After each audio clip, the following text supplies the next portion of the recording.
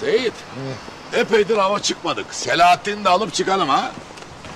Selahattin, silah kullanmasını biliyor musun? Pek sayılmaz baba. Lan bu olmadı avukat.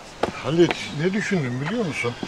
Şimdi Selahattin de döndüğüne göre diyorum ki aileyi hep bir araya toplasak ya şöyle bir birlikte yemek yesek.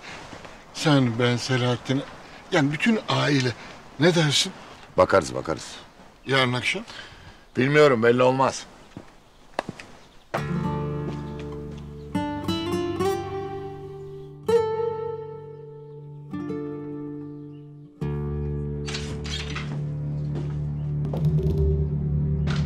Cemal! Cemal!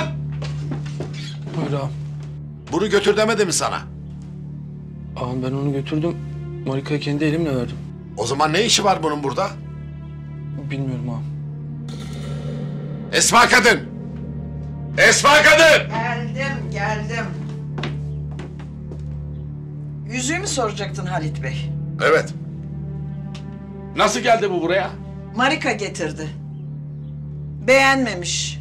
Bu kadarcık bir hediyeyle Gül Hayat'ın gönlünü hoş tutamazmışsın. Marika mı söyledi bunları?